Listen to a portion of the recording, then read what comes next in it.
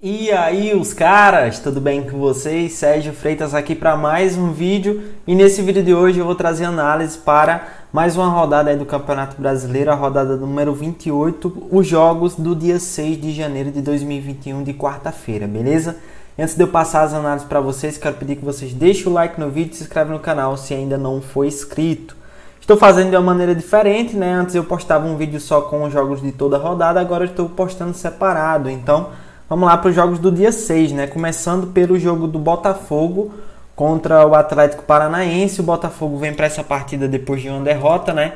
Em cima do Corinthians de 2 a 0 e o Atlético Paranaense conseguiu vencer o Vasco e demitiu seu treinador. Goleou o time do Vasco pelo placar de 3 a 0. Nessa partida aí, é... eu vejo vantagem para o time do, do Atlético Paranaense, que vai jogar como visitante mas é, eu acredito que tem mais time, né? E, e, acredito que tem um fôlego maior nessa reta final de campeonato. Eu acho que o, o Botafogo tem grande chance de ser rebaixado e para essa partida Atlético Paranaense é um empate, a minha, a minha tendência que eu acabei vendo, né? Lá na 88bet está pagando handicap zero a favor do Cap, então essa é a minha sugestão de aposta que eu deixo aqui para vocês. Handicap zero a favor do Atlético Paranaense, beleza? No jogo do Grêmio contra o Bahia, no mesmo horário, às 19h15, o Grêmio vem para essa partida depois de passar de fase diante do São Paulo em um empate em 0 a 0 Está é, tá na final da Copa do Brasil junto com o Palmeiras. E o time do Bahia tem o só o Brasileirão pela frente depois de ser eliminado pela Sul-Americana. Né? Nessa partida aí eu acredito que é, o Grêmio seja favorito a vencer o jogo. Nós temos o menos um, menos um com a de alta eu vejo valor nessa entrada, é minha segunda sugestão de aposta que eu deixo aqui para vocês. O menos 1 lá na 8bet, o handicap asiático menos 1, tá pagando 2.07 a favor do Grêmio. É minha segunda sugestão de aposta que eu deixo aqui para vocês, beleza? Terceiro jogo, às 20h30, Goia... Coritiba e Goiás. Duas equipes que estão na parte de baixo da tabela. Né? O Goiás um pouco com dois pontos a mais do que o time do Coritiba, que tem um ataque mais fraco, porém uma defesa um pouquinho melhor.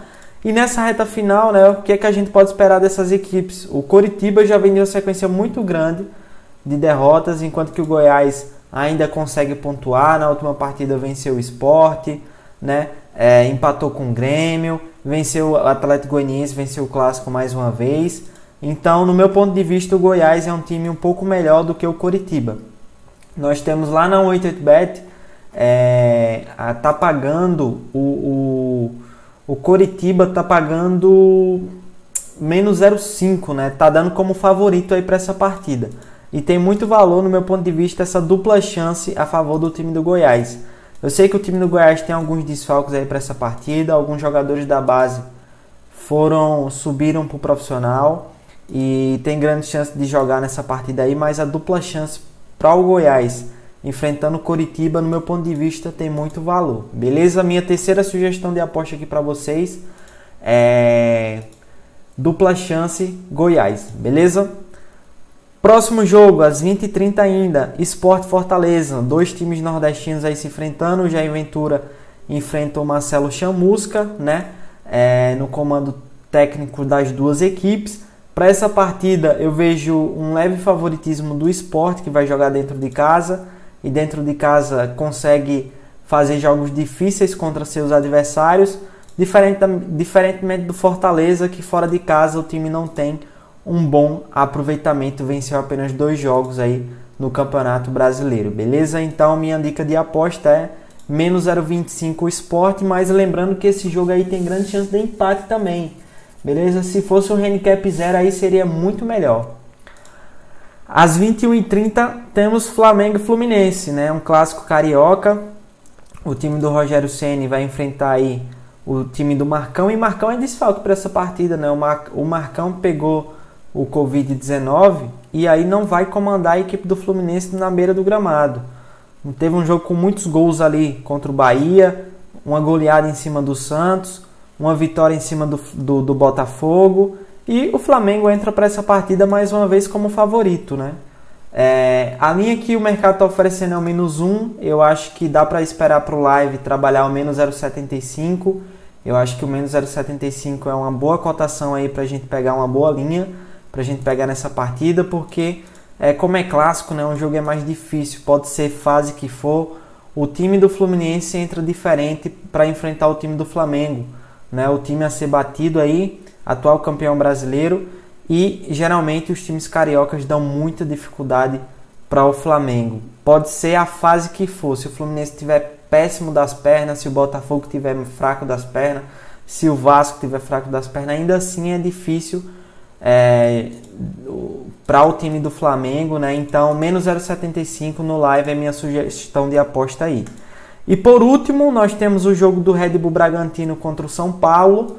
É, São Paulo na briga direta pelo título do Campeonato Brasileiro, né? Sete pontos de vantagem do, do Atlético Paranaense. O Flamengo tem um jogo a menos ainda. Ainda tem chance de. tem mais chance ainda do que o Atlético, né? De se aproximar do São Paulo. E o São Paulo, depois da eliminação da Copa do Brasil, agora o foco é total no Campeonato Brasileiro. Acredito que nessa partida aí o São Paulo possa vencer. Nós temos o menos 0,25. Lá na 8bet tá pagando 1,95. É mais uma sugestão de aposta que eu deixo para vocês aí nessas partidas, beleza? Eu vou repetir aqui para vocês. Menos 0,25 São Paulo, Flamengo menos 0,75 no live, Esporte, handicap 0 se, se o mercado disponibilizar, Goiás dupla chance, Grêmio menos 1 e Atlético Paranaense handicap 0. Beleza? Qualquer dúvida, sugestão, deixa nos comentários. Se ainda não tem conta no 8bet, o link está na descrição. Se você ainda não faz parte do meu canal no Telegram, entra aí, é totalmente gratuito lá eu mando dicas de apostas ao vivo. E é isso, tamo junto. E o jogo do Boca Juniors e o Santos eu vou fazer um outro vídeo, vou trazer uma outra análise aqui para você dessa partida. Tamo junto e até o próximo vídeo.